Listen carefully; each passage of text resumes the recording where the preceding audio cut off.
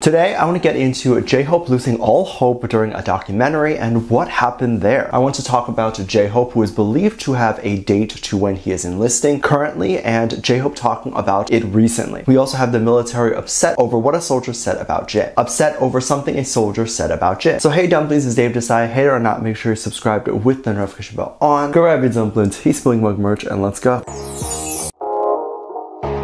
Jin recently has been enlisted in the military. Of course, we know this already. And it was very surprising when the news hit, as we all thought he would be exempt. But what is even more surprising is when you think about the idea that a celebrity at that level, and a celebrity that makes that much money, is doing something that everyone else in that country has to do. So it's almost an equalizer, but at the same time, it's quite odd, right? You would never expect to run into someone like Beyonce at Walmart all by herself. So it's giving a very similar vibe to a lot of people, even though it's very normal for male idols to enlist. So the big question came out here, which is this idea that if anyone bumped into Jin while he was serving and obviously was a fan, how would they react? How would you react? Obviously, you'd probably freak out. Jin likely looks flawless and his skin probably glows and he just looks very good. This is obviously because he has the money and is able to get the proper treatments for things like scars and pimples. So naturally, he is going to look very good. Things like posture and a body frame are all things that he was very closely monitored and worked on. He probably also knows exactly how many calories to eat and what that would look like on his body. So of course he is going to look like a picture perfect standard of beauty. In terms of personality and just aura, if you've ever been around someone who is famous or successful, you definitely notice their aura is different. It's not your average person, it's someone who stands out in a crowd. It's someone who walks differently and a lot of that can be taught. And these are all things that would make Jin stand out from a crowd crowd. Even if you did not know who he was, you'd probably think, oh wow, this guy is different. These are the type of people where you could take away their fame, money, and everything, and they would just be able to recreate it again. One soldier noticed that Jin was at the camp and then accidentally blurted out, oh wow, that's Jin. The soldier was less than a meter away from Jin when he noticed that. And of course, naturally, that would be your reaction. I think even someone that isn't starstruck would have such a reaction because it's someone that you recognize. Like, even if it was a friend that you hadn't seen in many years, naturally those words would come out. And they would come out without even thinking, let alone someone who is a global star. Of course, in moments where you're supposed to be silent, if you do speak, you're going to get in trouble. And that is exactly what happened. The soldier ended up getting in big trouble and he was scolded. Not only was he scolded, but the entire team got scolded too. So I'm wondering if Jin got in trouble too, and then they all had to do an extra push up because of this soldier. Now, this this wasn't exactly a particular interview that the soldier was doing or anything like that. The confession came from a letter that the soldier had written to his family. And I guess the family leaked the letter. Everyone thought this was hilarious and they felt like they would have done the exact same thing unconsciously. No one seemed to be too upset at the soldier and there's no point in being upset now as it has passed and it probably wasn't anything too crazy. Maybe just like 10 extra push-ups or a jog. I don't know. Of course, Jin has been in the military for a while now, so he has likely made some mistakes that cause punishment too. So he is probably understanding of that. Fast forward, apparently J-Hope is preparing to enlist very soon, and I definitely want to get into what is happening with that a little bit later. But before the enlistment, J-Hope will be releasing a bit of content and some things we can look forward to. I absolutely love when artists release behind the scenes stuff for us to watch. We get to see them prepare for their shows, and recently it was announced that J-Hope will be releasing J-Hope in the Box on Disney Plus. This is just his documentary of the process in creating his Jack in the Box album. It was believed that a specific clip was leaked from there since the documentary is not out yet, and I don't know where else this clip would come from, but it's also very likely the clip was not from the documentary. So just bear with me on that. But I will be trying to react to the documentary on Patreon if it's possible to get it, but I do have other shows on there as well. So if you're interested in joining me there and a fangirling with me about all this type of content, then I'll link the Patreon below. We currently have a limited $1 tier that is currently open too. But this clip that I am talking about today is a behind the scenes rehearsal clip where we see J-Hope getting ready to perform at Lollapalooza. This is obviously a big deal as K-pop artists don't usually get the opportunity to perform at these American festivals. And these festivals, like Coachella too, are very heavily documented and heavily reported on. There's also so many people who are there for other artists that would not necessarily be fans of J-Hope that would likely likely tune in. So J-Hope would get a lot of new listeners. This is a huge deal. And so J-Hope was being a little picky when he was at rehearsals. Someone recorded the backup dancers doing the moves and showed it to J-Hope backstage, and J-Hope looked a bit annoyed. J-Hope claimed that there wasn't really any chemistry between the backup dancers. J-Hope continued to say that he felt upset because he should have noticed or screened the dancers before. This is a big problem when you're looking or working with new people. You often don't know if they will match your standards or you just don't know if they'll mesh with your existing crew. None of this is a bad thing, but it just means it wasn't a good fit, similar to a relationship. Unfortunately, jobs often have money involved, and so losing a job that wasn't a good fit could mean that you don't have a rent or meal. However, thinking of this from the point of view of the idol and entertainer, they can't keep entertaining new dancers that aren't up to their standards, because then the idol will get backlash for putting on a subpar show. J-Hope was a little upset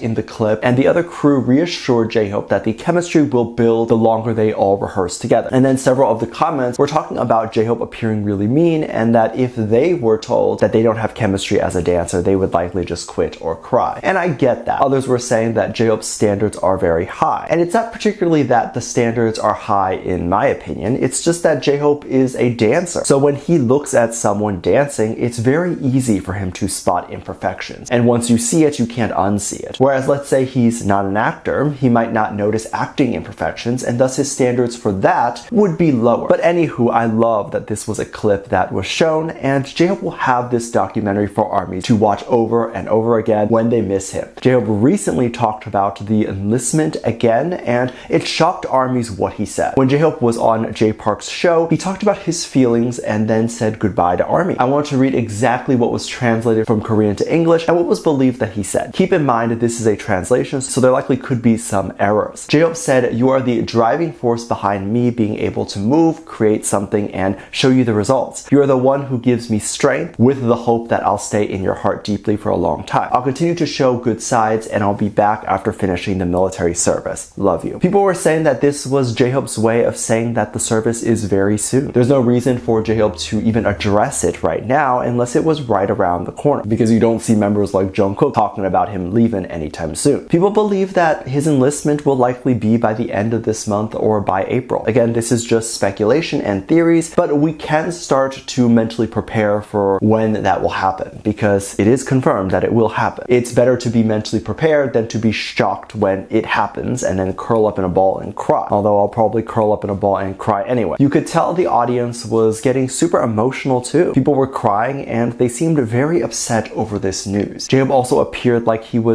tearing up when he was saying that he loves everyone and that he hopes to see everyone soon. I can't even imagine how he's feeling. J-Hope is one of the members where he doesn't seem like he gets burnt out too much. He seems like he is always full of ideas and he wants to experiment and try new things. Jack in the Box was very much a new thing and I have this inkling that if he were able to not enlist and go for another album, he may choose another genre or style to do as well. It seems pretty clear that he does not want to go and if there was an option to stay, make more music and not enlist, he would definitely want to choose that in my opinion. The boys say that they will serve their country and of course they would want to. It's what everyone else does. It's a way to show their country how much pride they have and how much they love their country. There's likely no bigger honor. However, of course, I can understand if they feel it's unfair or feel forced, especially being from a label that is now international. They are likely seeing the artists under their label from America being able to do whatever they want and live their life without concern that their fame will just go away. I can, however, bring good news and this idea that many artists in America leave for many years. Adele leaves for like five years at a time, comes back and still does very well. So BTS will still be remembered as a group here in the US. And when they come back, HYBE will be a much stronger too and have more connections. Let me know what you think. Make sure you check out my Patreon for more videos, link down below. Thank you to this lovely comment right here. Love you. Bye.